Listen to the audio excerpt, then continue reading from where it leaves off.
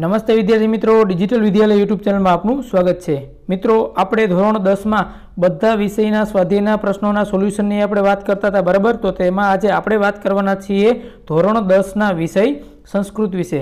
જો વિદ્યાર્થી મિત્રો, તમે આપણી ચેનલમાં નવા આવ્યા હો, તો ચેનલને અત્યારે સબસ્ક્રાઇબ કરી દેજો, કારણ કે ધોરણ દસના બધા સ્વાધ્યાયના સોલ્યુશન છે આપણી ચેનલમાં અપલોડ કરીએ છીએ, બરાબર? ચાલો, આજે આપણે વાત કરવાના છીએ ચેપ્ટર બે, યદ વિષયો વિનશ્યતી, બરાબર? યદ યદ્ધ વિષયો વિનશ્યતી, બરાબર? ચેપ્ટર એક છે ઓલરેડી અપલોડ થઈ ગયું છે. જો તમે એનો વીડિયો ન જોયો તો ખાસ કરીને જોઈ લેજો. તેમાં આપણે જોવાના છીએ અત્યારે ક્વેશ્ચન નંબર એક. તે ક્વેશ્ચન નંબર એક બધામાં કોમન જ હોય છે. શું હોય ભાઈ? તો કે ઉચિત વિકલ્પ છે તમારે પસંદ કરીને લખવાનો હોય છે. એમાં આપણે જોઈએ પહેલો પ્રશ્ન કે ધીવરાણમ વચનમ કીદૃશમ આસિત. તો એમાં આન્સર આવશે સી કુલી સોપમમ શું આવશે ભાઈ? કુલી સોપમમ બીજો ક્વેશ્ચન અન્ય જલાશયમ ગંતુમ ક મત્સ્ય નિશ્ચયન કરોતી. તો એમાં આવશે અનાગત વિધાતા. શું આવશે ભાઈ? આન્સર બી, અનાગત વિધાતા. બરાબર? ચાલો, ત્રીજો જોઈએ ભાઈ કે ધીવરે ઉક્તમ અધ્ય અસ્માકમ વૃત્તિ. ખાલી જગ્યા, તો એ ખાલી જગ્યામાં શું આવશે ભાઈ? સજ્જાતા. શું આવશે ભાઈ? સજ્જાતા. એટલે ઓપ્શન એ છે, એનો સાચો આન્સર આવશે. ચોથો જોઈએ, અનાગત વિધાતા. ખાલી જગ્યા સહ નિષ્ક્રાંત. જો નિષ્ક્રાંત પૂછ્યું તો એમાં શું આવશે ભાઈ? પરિજનન. શું આવશે? પરિજનન. એટલે ઓપ્શન ડી છે પરિજનન એ એનો સાચો આન્સર થશે.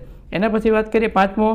પ્રત્યુત્પન્નમતી પ્રાહ ભવિષ્ય દર્થે પ્રમાણાભાવાત કુત્રમયા ખાલી જગ્યા તો એમાં આવશે ગંતવ્યમ. શું આવશે ભાઈ? ગંતવ્યમ. એટલે ઓપ્શન સી છે એનો સાચો આન્સર થશે. છઠ્ઠો જો, અનાગત વિધાતા પ્રાહ અત્ર ક્ષણમપી ખાલી જગ્યા ન યુક્તમ. તો એમાં શું આવશે ભાઈ? અવસ્થાતુમ. શું આવશે? અવસ્થાતુમ. બરાબર? ખાસ કરીને આના જે વર્ડ આવે છે, બરાબર? એ પ્રોપર સમજી વિચારીને સારા અક્ષરે તમારે લખવાના છે. બરાબર? ચાલો, એના પછી જોઈએ પ્રશ્ન નંબર બે. એમાં છે કે એક વાક્યમાં સંસ્કૃત ભાષામાં ઉત્તર લખવાના છે. બરાબર? ચાલો, સંસ્કૃત ભાષામાં છે એટલે સરખી રીતના તમે લખજો. પહેલો પ્રશ્ન છે, જલાશયે કે ત્રય મત્સ્ય વસંતી સ્મ? જલાશયે અનાગત વિધાતા પ્રત્યુત્પન્નમતી યદ યદ ભવિષ્ય તયા, ત્રયા મત્સ્યા વસંતી સ્મ. એટલે ત્રણ છે એ મત્સ્ય અહીંયા રહે છે. બીજો અપરેધુ ધીવરે જલાશયે કિમ ક્ષિપ્તમ તો એમાં આવશે અપરેધુ ધીવરે જલાશયે જાલમ ક્ષિપ્તમ ત્રીજો પ્રશ્ન, કોદ્રો મત્સ્યો જલાશયે એવ સ્થિતો? તો એમાં આન્સર આવશે, પ્રત્યુત્મતી યાદ યદભવિષ્ય ચ ઇતિ ધ્રુવ મત્સ્યો જલાશયે વ સ્થિત. બરાબર? એટલે બે મત્સ્યો આવશે એમાં. ચોથું ઝાલાત અપસારિત, પ્રત્યુત્મતિ, કીદૃશમ નિરવમ પ્રવિષ્ટ. તેમાં આન્સર આવશે ઝાલાત અપસારિત, પ્રત્યુત્મતિ, ગંભીરમ નિરવમ પ્રવિષ્ટ. પાંચમો પ્રશ્ન, કહ મત્સ્ય ધીવરે વ્યાપાદિત? એમાં આવશે ઝાલાત મત્સ્ય ધીવરે વ્યાપાદિત. બરાબર? ચાલો, હવે જોઈએ, પ્રશ્ન બે પૂરો થઈ ગયો. પ્રશ્ન નંબર ત્રણ, એમાં છે કે અધોલોકિતાનામ કુદંતામાં પ્રકારમ લિખિત. એટલે કે અહીંયા જે આપણે શબ્દ લખ્યા છે તેના કૃદનના તમારે પ્રકાર લખવાના છે. એમાં પહેલો છે સજ્જાતા તેમાં આવશે કર્મણી કૃદન. બીજો, અનુષ્ઠેયમ, એમાં આવશે વિદ્યાર્થ કૃદન. ત્રીજો છે સમાકણીય એમાં આવશે સંબંધક ભૂત કૃદન. ચોથું છે બદ્ધ, એમાં આવશે કર્તરી કૃદન. પાંચમું છે અવસ્થાતુમ, એમાં આવશે એત્વર્થ કૃદન. છઠ્ઠું છે ગંતવ્યમ, એમાં આવશે વિદ્યાર્થ કૃદન. બરાબર? ચાલો, લખાઈ ગયા કૃદનના પ્રકાર. હવે આપણે વાત કરીશું ક્વેશ્ચન નંબર ચાર. એમાં છે, સમાસ પ્રકારમ લિખિત. એટલે કે સમાસના પ્રકાર તમારે લખવાના છે. પહેલો છે કે જલાશયાંતરમ, એમાં આવશે કર્મધારય સમાસ. બીજો, બહુમત્સ્ય, એમાં આવશે બહુવ્રીહી સમાજ. ત્રીજો છે ધીવરા લાપહ એમાં આવશે ષષ્ઠી તત્પુરુષ સમાસ. ચોથો છે, પ્રત્યુત્મતિ, એમાં આવશે બહુવ્રીહી સમાસ. પાંચમો છે પ્રમાણા ભાવાત એમાં આવશે ષષ્ઠી તત્પુરુષ સમાસ. બરાબર? લખાઈ ગયા સમાસના પ્રકાર. હવે પાંચમો જોઈએ સંધિ, એટલે કે સંધિ વિચ્છેદ કૃત, એટલે કે સંધિ છૂટી પાડવાની છે. શું આવશે ભાઈ? યદ ભવિષ્ય વિષયશ્ચેતી એમાં આવશે યદ યદ ભવિષ્ય ચ ઇતિ. બરાબર? ખાસ કરીને સંધિ એમાં સરખી રીતના છૂટી પાડજો. બીજો છે શ્રીયોતયમ, એમાં આવશે શ્રુત અને અયમ. ત્રીજો છે પ્રત્યુત્મતિસ્થા એમાં આવશે પ્રત્યુત્મતિ તથા. છઠ્ઠો છે રેખાંકિત પદાના સ્થાને પ્રકોષ્ઠાત ઉચિત પદમ ચિત્વા પ્રશ્ન વાક્યમ રચત બરાબર? એટલે તમારે અહીંયા પ્રશ્ન વાક્ય બનાવવાનું છે. તો શું કહેવાય પહેલો? કે બહુમત્સ્ય અયમ રુદ. એમાં આવશે કીદૃશ અયમ રુદ. બીજો, કે અસ્માભી રાત્રો એવ સમીપમ સર ગંતવ્યમ. એમાં આવશે અસ્માભી કદા સમીપમ સર ગંતવ્યમ. ત્રીજો, અનાગત વિધાતા પરિજનેન સહ નિષ્ક્રાંત એમાં આવશે અનાગત વિધાતા કેન સહ નિષ્ક્રાંત ચોથું પ્રત્યુત્મતિ ચાલાત અપસારિત, એમાં આવશે પ્રત્યુત્મનતી કસ્માત અપસારિત. જો પ્રશ્ન બનાવવાના છે, એટલે કેન કસ્માત કદા આ તમારે બનાવવાનું હોય. બરાબર? ચાલો, એના પછી છે, ધીવરે યદ્ભ વિષય વ્યાપાદિત, એમાં આવશે ધીવરે કહ વ્યાપાદિત. બરાબર? એટલે કહ મૂકવાનું તમારે થશે. બરાબર? ચાલો, થઈ ગયો પ્રશ્ન છ પૂરો હવે વાત કરીએ પ્રશ્ન નંબર સાત. એમાં છે, કથાયાહ ક્રમાણાનુસાર વાક્યની લિખિત, એટલે કથા અનુસાર તમારે વાક્યને છે તમારે લખવાના છે.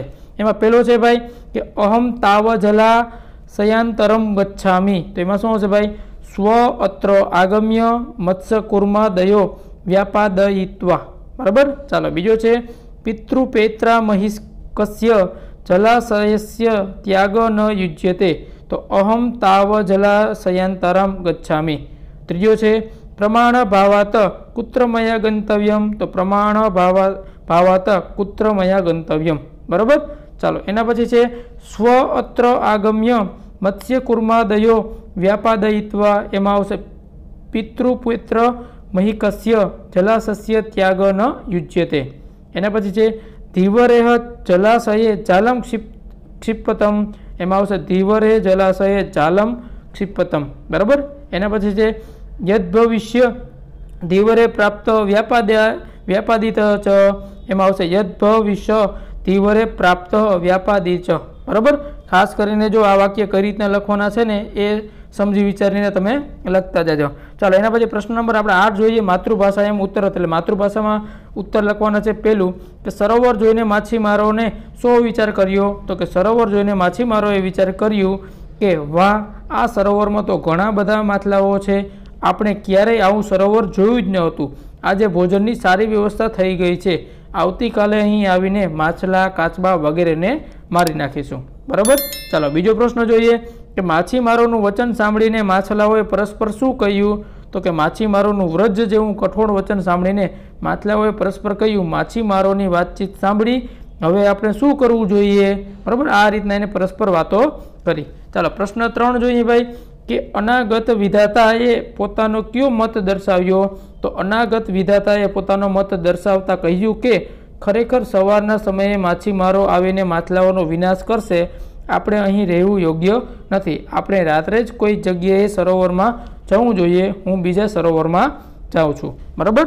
પછી જોઈએ ચોથો કે પ્રત્યુત્મનમતીએ અન્ય જળાશયમાં જવાનું કેમ માંડી વાળ્યું પ્રત્યુત્મતીએ કહ્યું કે ભવિષ્યને માટે સાબિતીનો અભાવ હોવાથી મારે ક્યાં જવું?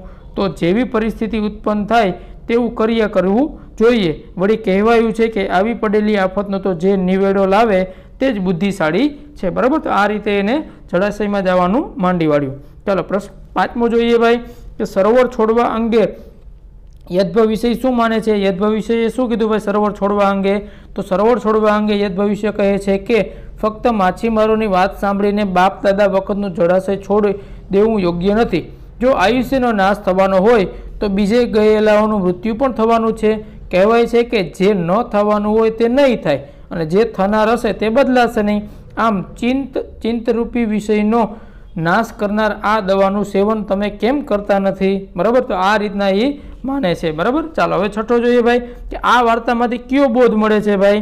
તો યદ યદ ભવિષ્ય વિનશ્યતિ, આ વાર્તામાંથી આપણે આ બોધ મળે છે કે જે આવ્યું નથી તેનું અનુમાન કરનારો અને જેની બુદ્ધિ ત્વરિત નિર્ણય લેનારી છે, તે બંને સુખપૂર્વક જીવન જીવે છે. પરંતુ જે વ્યક્તિ ભવિષ્યમાં થનાર કે તે ભલે થાય એવી વિચારધારાવાળો અને આળસુ માણસનો વિનાશ થાય છે ભવિષ્યમાં આવનારી મુશ્કેલીઓનો ઉપાય માણસે અગાઉથી વિચારવો જોઈએ અને મુશ્કેલી આવી પડે ત્યારે પોતાની બુદ્ધિનો ઉપયોગ કરીને તેમાંથી માર્ગ શોધવો જોઈએ. માત્ર નસીબને આધારે બેસી રહેનાર આળસુ માણસની દશા યદ ભવિષ્ય નામના માથલા જેવી થાય છે. આ શીખ છે એ આપણે વાર્તામાંથી મળે છે.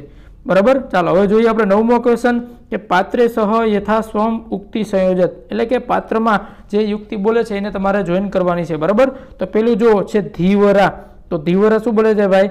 એ ત્રીજું વાક્ય બોલે છે કે, અહો, બહુ મત્સ્યોયમ રુદ. બરાબર? બીજું, અનાગત વિધાતા. અનાગત વિધાતા છે એ ક્યુ બોલે છે ભાઈ? તો કે અનાગત વિધાતા પાંચમું બોલે છે કે, તનયુક્તમ સાંપ્રતમ ક્ષણમપી અત્ર. બરાબર? ત્રીજું, યદભાવિષ્ય. બરાબર? તો એ શું બોલે છે ભાઈ? તો કે ત્રીજું છે એ બોલે છે પદભાવી ન તાપધાવી બરાબર? ચાલો, એના પછી ચોથું છે, પ્રત્યુન્મતિ. એ શું બોલે છે ભાઈ? કે પ્રત્યુન્મતિ છે એ ચાર સામે શું આવશે? એક. એટલે એ બોલે છે, તદુત્પન્ને યથા કાર્ય તદનુષ્ઠેષ્યમ બરાબર? તો આ રીતના છે એ આપણે વાક્ય છે એ જોઈન કરવાના છે, બરાબર? કે ક્યુ પાત્ર છે એ ક્યુ યુક્તિ બોલી છે તમારે જોઈન કરવાની છે, બરાબર? તો ચાલો, જોઈ લો વિદ્યાર્થી મિત્રો, અહીં તો આપણું આ જે સ્વાધ્યાયનું પ્રશ્નનું સોલ્યુશન છે એ પૂરું થઈ ગયું છે. તો અહીં આપણો ચેપ્ટર બેનો જે વીડિયો છે સ્વાધ્યાયના સોલ્યુશનનો એ પૂરો થાય છે. તો વિદ્યાર્થી મિત્રો, હજી પણ જો તમને કાંઈ ડાઉટ રહી ગયો હોય, તો કોમેન્ટ કરવાનું ભૂલતા નહીં. અને જો તમે આપણે ચેનલમાં નવા આવ્યા હો, તો ચેનલને અત્યારે સબસ્ક્રાઈબ કરવાનું ભૂલતા નહીં. અને આપણા જે બીજા મીડિયા છે, એટલે કે બીજા જે પ્લેટફોર્મ છે, તેમાં પણ ખાસ કરીને જોઈન કરવાનું ભૂલતા નહીં. વીડિયો ગમ્યો હોય તો લાઇક કરજો, તમારા મિત્રોને શેર કરજો અને આપણી ચેનલને સબસ્ક્રાઈબ કરજો. આવજો વિદ્યાર્થી મિત્રો, જય હિન્દ, જય ભારત.